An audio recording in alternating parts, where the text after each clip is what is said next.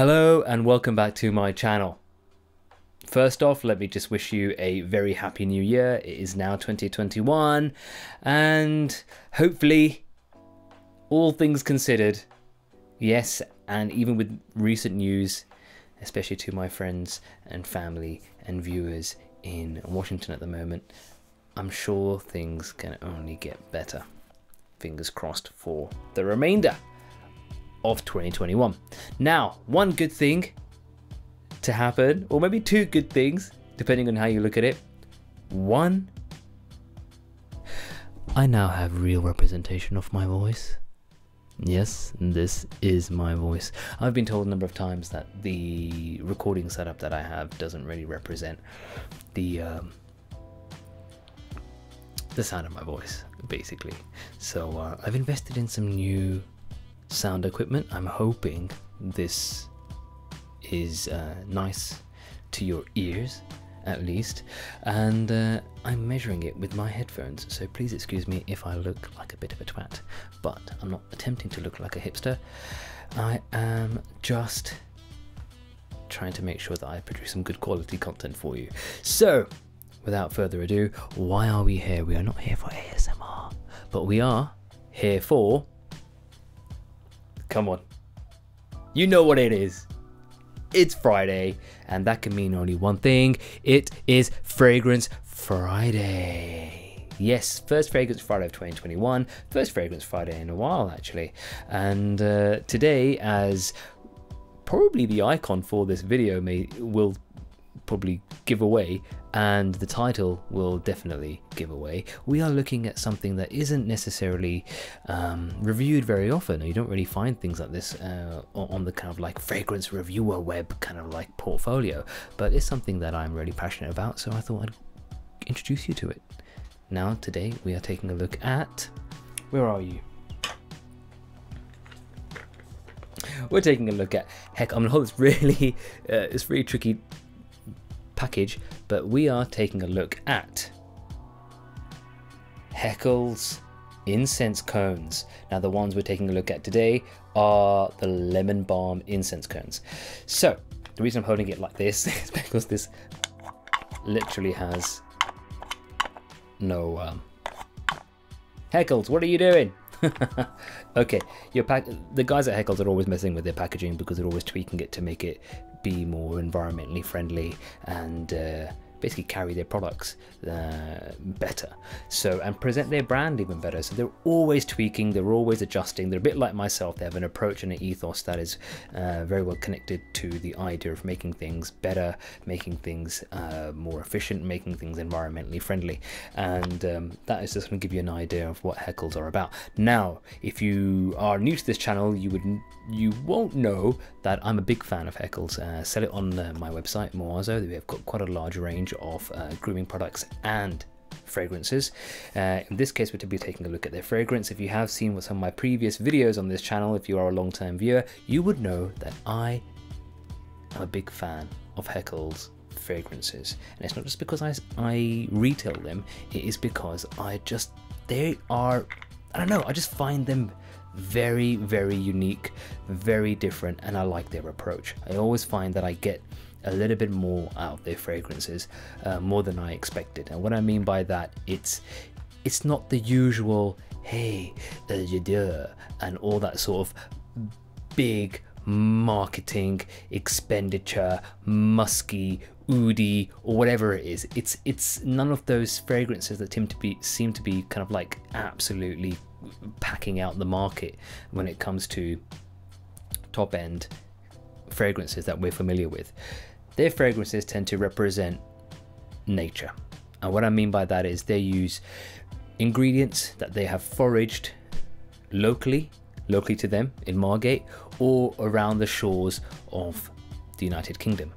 And in this case, what they've done is they've taken the lemon balm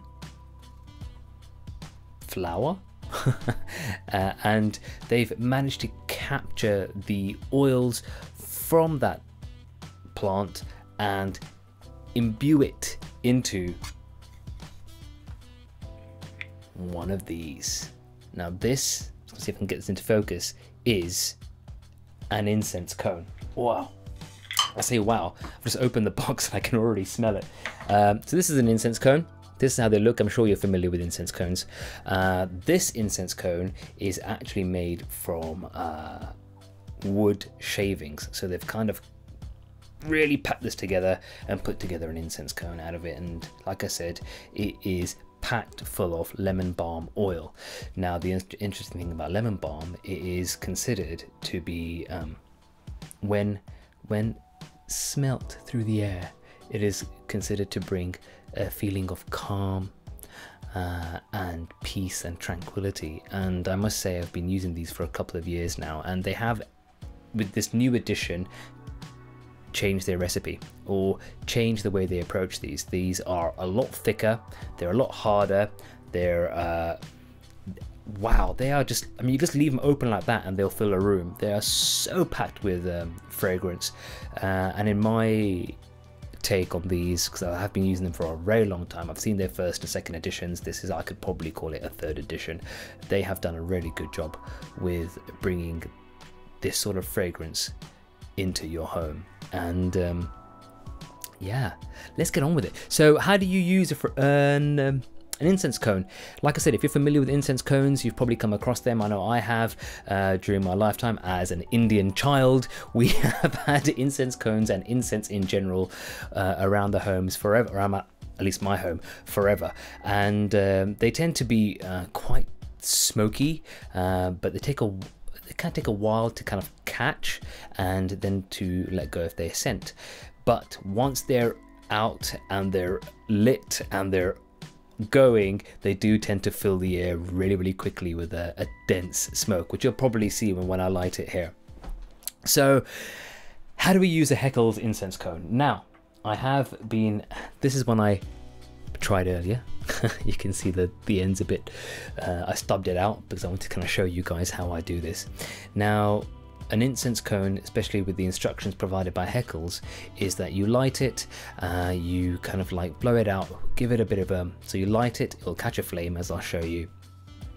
And once the flame's gone out, you give it a good kind of like a breeze like you would if you were camping to kind of get a, a fire going, to really get it nice and uh, red hot and what that will do that will ensure that the uh, fibers catch and the scent kicks off so um, that's one aspect, very basic aspect of lighting an incense cone. I know you know this already, but hey, why not?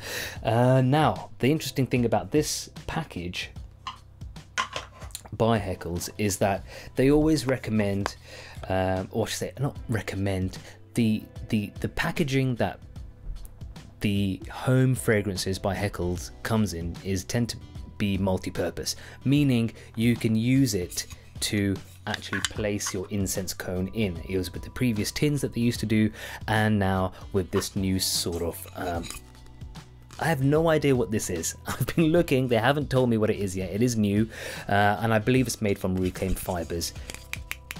It's not a plastic, but it's reclaimed, and they've pressed it into this kind of this composite, which I believe, uh, knowing Haeckels, is uh, probably compostable. So uh, I don't have the information on that yet. I apologize, and when I find out, I'll let you know. Now, the interesting thing is, Haeckels have also, I don't know, they've already provided us with some decent fragrance cones. I say decent, I'm saying it as a kind of like a general statement, but they even included a coin and it will become clear in a second. This is a coin from Brazil in this case. So any of my Brazilian viewers, this is one one for you. If you can get this is one of your coins. Basically, what they've done is they've placed a um, a coin of some sort in every pack. And the idea is is that you take this coin, and I'll, I'll, do an overlay on this video. Uh, you take this coin, you put it into this lid come tray uh, and then you place your incense cone on top and it just stops any heat getting through to the bottom of this lid tray lid. And uh, you can also use it to stub it out stub out um, a cone that you wish to stop from continuing smoking. That's the right word.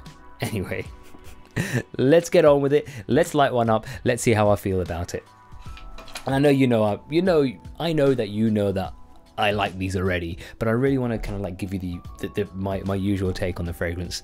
Uh, that said, side note, thank you for everyone who's been leaving comments about when am I going to come back with a fragrance Friday, and I've been responding, there's something coming, there's something coming. Well, here it is, and um, really thank you for the support. It's been really nice to hear hear how everyone's doing and uh, the kind of like um, feedback for all the um, all the fragrance videos. I know they're popular and, and I will be doing a lot more. So, good old matches. Haven't used one of these for a while. Obviously, you can use a lighter. Uh, but what I found with lighters, like many things, and I think this is just a kind of like snobby part of, of lighting either a cigar or something like this is that you might find that the um, the gas from uh, from a lighter might impart some scent initially onto this so um, it's not a big deal, it'll burn away. I'm just saying it because for FYI sake. Anyway, let's do this. Be careful, don't these things can snap if you're too crazy with them, so so here we go. Hopefully this will light. Ooh, let's get that going. There we go.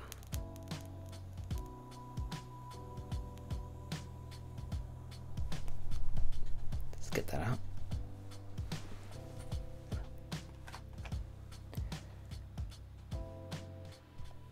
Look at that.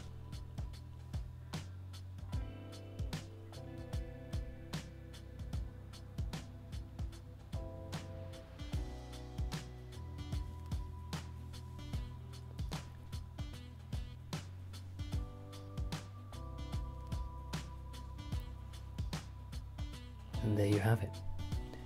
See how I gave it just a, a touch? My old Cub Scout days, my skills from being a Cub Scout have finally come into um, practice lighting fires, which is usually they turn you into a pyrotechnician as soon as um, you join the Cub Scouts, which is strange.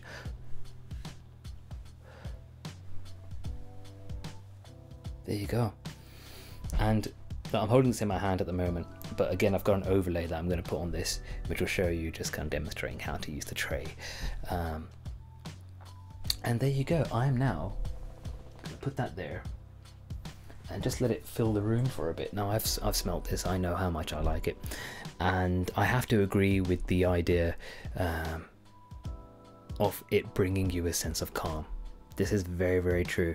And God knows we need a little bit of calm and a lack of, uh, you know, an openness, a feeling of mindfulness, a feeling of serenity, uh, especially now especially if you're kind of like feeling alone or uh, anxious with the current state of play at the moment. But you know, there's always something uh, that you can practice internally and something that you can light, in this case externally, to help you get there, get help you achieve that peace of mind.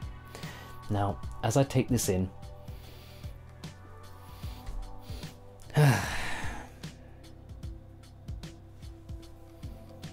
you know what? I really like this. You know I like this already.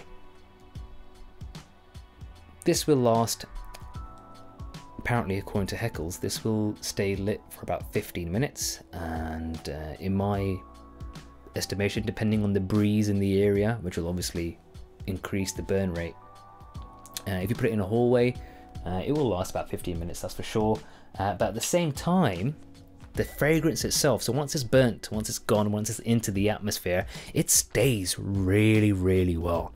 Like you can smell that all day. You can light one or two of these around the house, and that scent will stay uh, really well, which is, um, I don't know if it's a sign of the way Haeckels have put together this product or if it's a, just a result of the, the, the nature of lemon balm. But it smells delicious. Uh, it smells really nice. And right now, it's not. It's.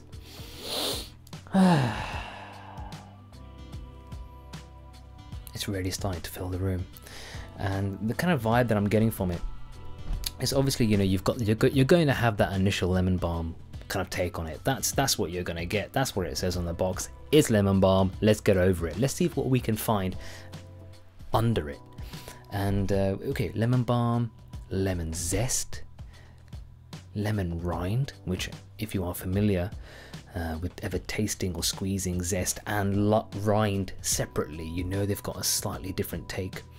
Uh, and that's obviously lemon, but lemon balm actually comes from a leaf and um, various parts of of the um, of the plant itself. Now, as I take this in, apart from the zesty lemon freshness, it's got a warmth to it. It's warm, it's earthy, which kind of makes sense, doesn't it? It's earthy. You've got the um, the wood, the notes of wood in there, which I'm assuming are from the wood shards or the wood composite that they've put together to carry the oil. But you know what this reminds me of? it might sound really silly, but it's a happy memory. Um, it reminds me of making pancakes at school.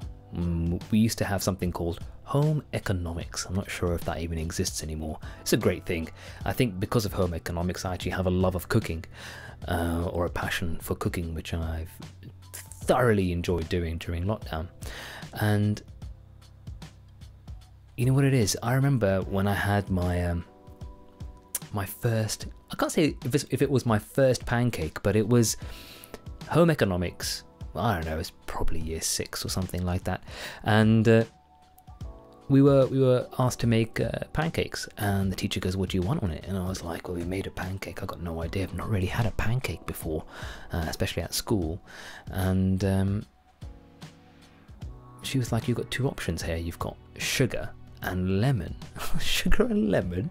Who puts lemon on food? What are you going on about? I'll have some sugar please. And it was sugar but she was like you're really gonna like it with lemon also Nitin. And i was like all right you know what? And then when I think about it, I think that's where my curious nature comes from. It's like, yep, yeah, I'll give it a go with lemon, please.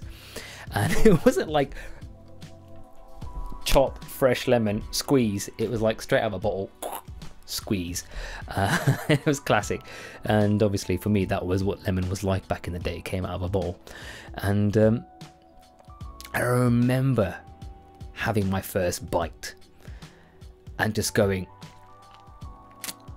and then the sugar hitting, and then the lemon, and then the smell of the lemon, and then that kind of like lovely batter, um, vanilla essence packed pancake, and it just being something that I've never forgotten and I've really really thoroughly enjoyed that memory and what's really interesting about pancakes these days is that they're not they're not those kind of pancakes. Pancakes tend to be like cakes now, right? Like an actual cake. Uh, they're not those kind of thin, wafer thin pancakes that you try to flip and which, and which end up falling everywhere.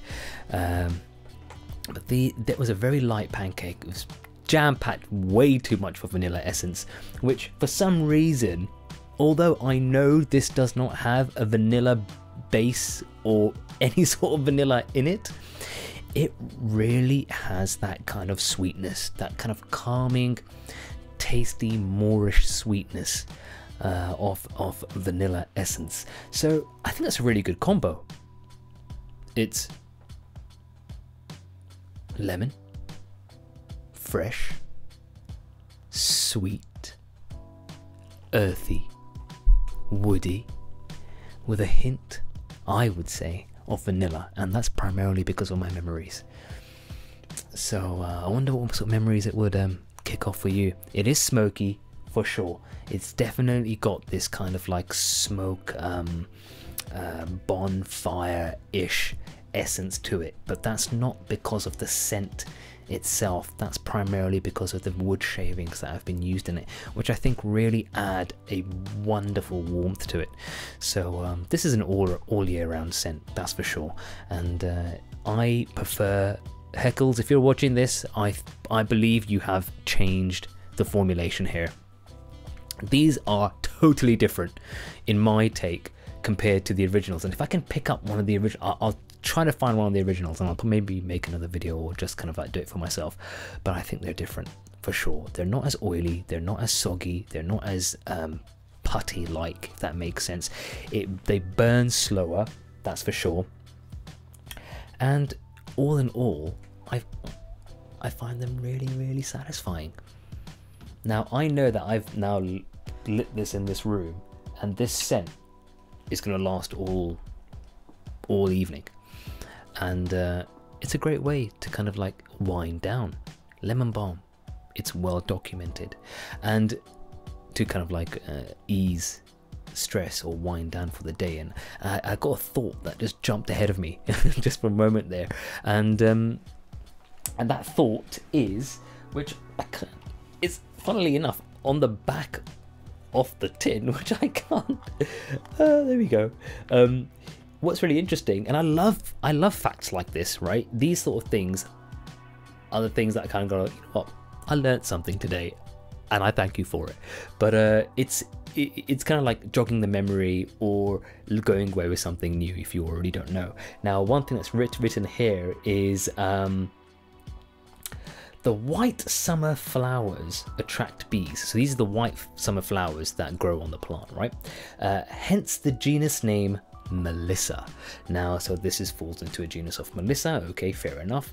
But did you know Melissa, as stated on the back of this Haeckels tin, is Greek for honey bee? Love it. So uh, yeah, I love walking away with information like that. And you know, honeybees, they know what they're talking about or buzzing about. they're they're high on life and they get on with it and probably enjoy it very nicely. So to wrap up, let's see if I can do this again. To wrap up, this is a Haeckels Lemon Balm Incense Cone, available also in different fragrances, which I'll hopefully get a chance to show you those as well. What more to say? I think everything that needs to be said has been said. Have a wonderful time trying these for yourself. I'll leave the links below. Check them out. Uh, a passing note. What would that passing note be? Yes. Any the links are for Muazo. That's my website. So whenever you go to that link, and so I don't have any affiliate links. So when you go to that link, and if you if you choose to purchase something from Muazo, obviously that helps run the business that I run, and it helps put food on the table. If that makes sense. So um, I don't have a Patreon yet. If I I've tried, but it's a bit of a complicated scenario. I'm not sure if, if it's a great thing to do, but if you believe a Patreon will be a better way to do this, because eventually I will run out of fragrances and I will have to go out and buy them. so if you want me to carry on doing this, make some suggestions on how I can keep fragrances rolling. And um, I hope you have a wonderful 2021. Um, and until next week, I'll see you soon. Bye bye.